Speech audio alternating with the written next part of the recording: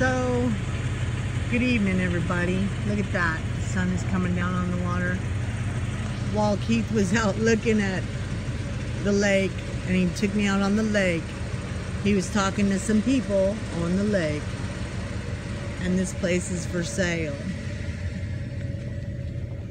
This is our dream, y'all.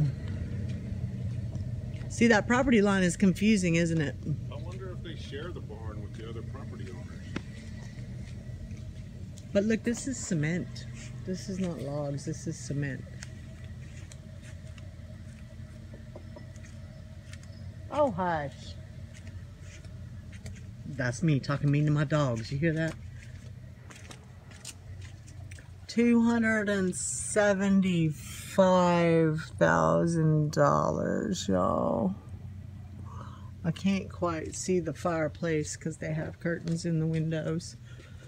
It's got central air and heat. Got a fireplace. Look at that. Yeah.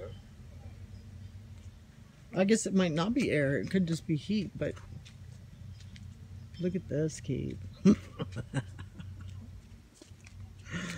yeah. we shouldn't even be looking at this, y'all. Nope. Let me get up here so I can show y'all. Okay, so this is once again T Lake. And Keith loves this lake. He has decided this might be the lake for us.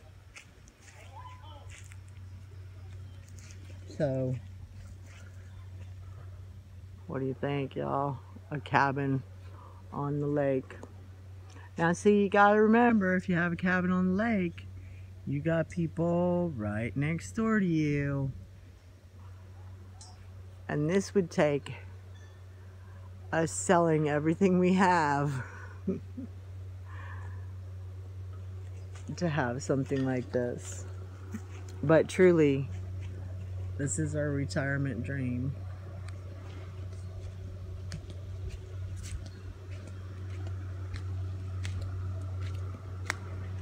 Got a bit of a steep hill, but the house is sitting on nice level ground. Mm-mm-mm. Isn't that pretty? Little make a little fire pit down there. Woo! All right, we're getting out of here before we get the popos called on us. That's not Keith. That's the cops. All right, y'all have a good evening.